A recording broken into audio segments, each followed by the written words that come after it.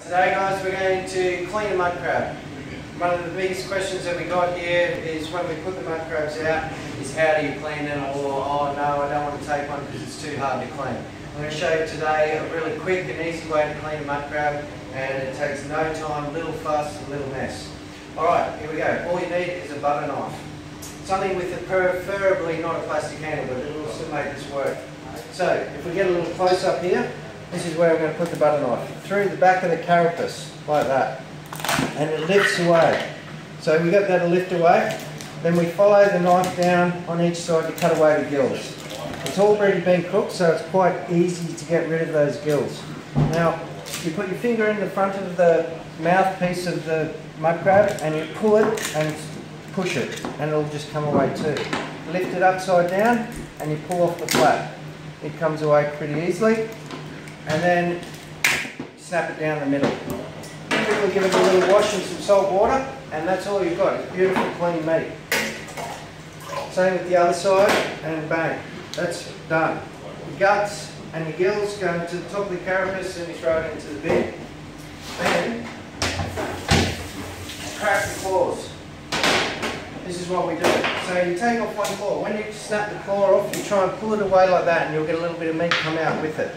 With the body, you divide it into four or three. So you just run the butter knife down. Grab your hand and you push down with your arm like that. Push it down like that and like that.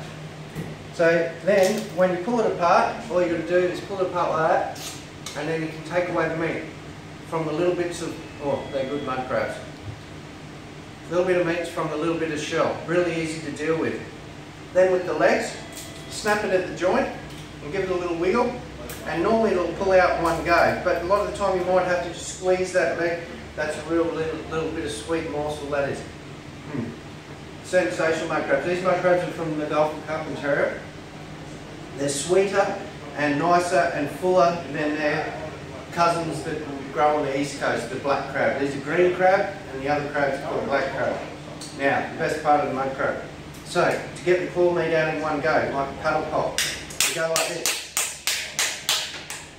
A line down just behind the actual lizard itself.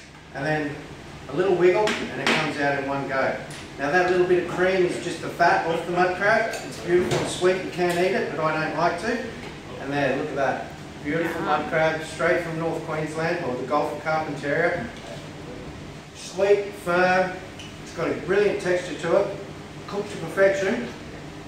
And as you move down, the best way to get the second link of the of the claw out is to go bang, like that. And it pulls out the same way. Beautiful. The knuckle, just like that. The knuckle's a little bit more difficult because it doesn't actually come away like the rest of it and you do have to sometimes wiggle it a little bit to come out. Just a bit of a tap on the backside and there we go, there it is there. So once you've cleaned all that up, you pick all your meat out, a little bit of vinegar and black pepper, mix them together, perfect. But you don't need a lot with this mud crab. Anyway, quick easy way to clean a mud. Next time you come into the shop, don't say it's too hard to peel.